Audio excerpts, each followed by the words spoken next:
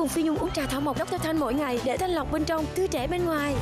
Và thưa quý vị, bây giờ quay trở lại với chương trình là thí sinh thứ tư. Câu chuyện của bạn sẽ là câu chuyện về tình cảm mẹ con giữa hai nhân vật mà gọi là huyền thoại luôn á. Đó là hai mẹ con cám. Câu chuyện này sẽ được kể như thế nào đây? Mời quý vị và các bạn đến với câu chuyện của thí sinh Ngân An.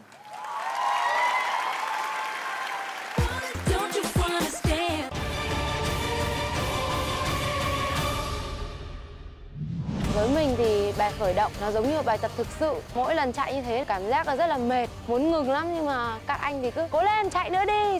Các anh bắt mình là phải đấm nhanh, đấm mạnh, đấm liên tục Đá liên hoàn luôn. Nhiều khi cảm giác không thở được luôn Rất là mệt và, và ức chế nữa Có những lúc tức quá, nước mắt bắt đầu rưng rưng. Tuần này thể loại mà chương trình đưa ra đó là hip hop. Anh Nhật Anh đã đưa ra một câu chuyện sức mạnh tiềm ẩn của hai mẹ con nhà cám. Cơ thể của mình phần chân, phần đùi á, phần mông của mình nó không được linh hoạt cho lắm. Lúc muốn sang trái thì cái mông nó cứ sang phải ấy. Muốn lên thì nó xuống dưới không chịu theo cái sự điều khiển của mình. Tuần này mình sẽ cố gắng dồn hết sức lực trong cả bài nhảy có thể khiến cho tất cả các vị giám khảo đều hài lòng với bài nhảy của mình.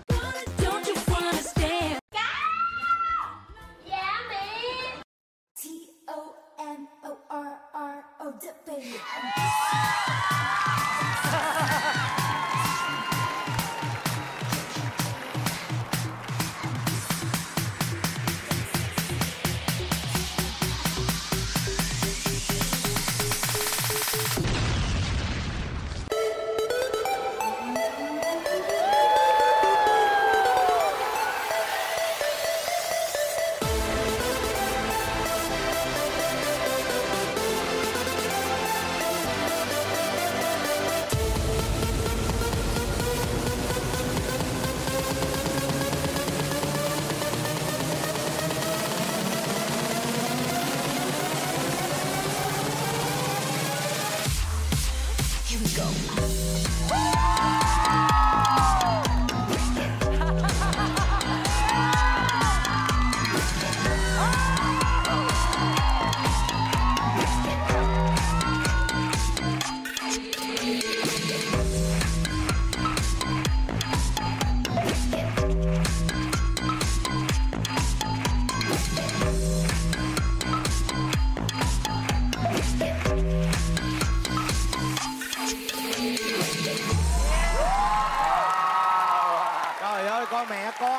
kìa. Dễ thương quá, hai mẹ con đi va. Nhật Anh và Ngân An. Duyên dáng. Bây giờ tôi không biết là quậy như quậy cám heo là sao rồi. BN khoảng cách 04 gửi về tổng đài 8369 nếu như quý vị thích mẹ con nhà cám thưa quý vị. Xin mời uh, John. Trong một tuần em thay đổi 180 độ luôn Từ cái gương mặt, cái khách diễn, cái động tác của em, cái sức mạnh của em Mọi thứ em làm trong cái bài này nó rất là tuyệt vời. Nó có nhiều cái anh thích trong cái bài này. Cái Mấy cái bưng bê em cầm trên cái vai và em quay xong em lộn qua cái vai. Và cái động tác anh thích nhất là lúc hai bạn lắc cái mông Hai cái mông nhìn đều với nhau. Anh không biết ai đang thi luôn đó. À, yeah, yeah. Còn Lý Nhã Kỳ thì sao ạ? một tiết mục xuất sắc. Nghĩ rằng là không phải thí sinh đúng như anh cho nói rất là chuyên nghiệp nhất là thích nhất là lắc mông tưởng đang là đang coi một cái show một À. show diễn Tôi tôi xin đính chính một chút xíu với quý vị. Ờ, đó không phải là lắc mông mà chúng tôi gọi bằng thuật ngữ chuyên môn của nhảy múa gọi là đánh mông. Vâng. Oh, À, ok, lắc ok. là chị lắc qua lắc lại còn đánh là đi, quay lại đi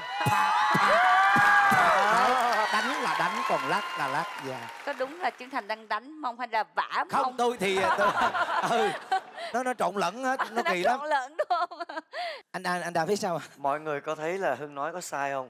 Trấn Thành có rất là nhiều khả năng đặc biệt. cũng lại là người tiềm ẩn luôn á anh à Hay lắm. Nè mọi người ở trường quay nhìn kỹ. À, quay vòng đi người mẹ đi. ủa trời ơi xin người lỗi mẹ đứng gần Trấn Thành thì đó. Có giống Trấn Thành không? Y chang Trấn Thành lúc dạ gái. sao nỡ lần nào hại em vậy trời Thiệt giống thiệt mà. Có nghĩa là cái độ ác trong mặt em có đó Thành. Đó, trời ơi y chang. Thấy không? Cái vòng 3 cũng giống Yeah. đúng rồi Em nhìn xem. Ba phần thi trước ai cũng có ghi nói xuống rất rõ ràng. Phần của em anh không có ghi được cái gì hết trơn đó. Anh lo coi không đó. mê lắm rất là dễ thương một cái sự tính toán đặt nhân vật cổ tích vào trong một cái giai điệu. Đây là một cái sự tương phản mà tưởng chừng như không bao giờ là lại gần nhau được nhưng tụi em đã làm được nó còn hơn như thế nữa. Anh chỉ muốn nói với em rằng là ngân an cái câu nói mà em sách vali đi về sai bét rồi. Em phải đi sâu hơn nữa cơ. Vâng Chúc xin mừng cảm ơn anh. Tụi em là quá xứng đáng không còn biết nói gì nữa. Cho điểm thôi. Mời john. 8 điểm. Mời lý nhạc gì 9 điểm lần đầu tiên có một con chính trong mùa giải năm nay. Xin mời anh đàm. Chính lương. Xuất sắc. Không còn phải nói nữa. Gần như là tuyệt đối rồi. Thưa quý vị 8,7 còn chân dây nữa? Phóng lên cân. Mời em. Trấn Thành xin được thông báo nhẹ nhân vật này là nhân vật giảm cân thành công nhất tuần này với cân nặng cũ 95,5 kg và cân nặng hiện nay là 91,2 giảm được 4,3 kg và phần trăm nhận được là cao nhất từ các thí sinh đó là 4,5%. Tổng điểm của bạn là 13,2 điểm. Wow. Và hiện nay là số điểm cao nhất. Chúc mừng bạn. Cùng Phi Nhung uống trà thảo mộc Dr. Thanh mỗi ngày để thanh lọc bên trong, tươi trẻ bên ngoài.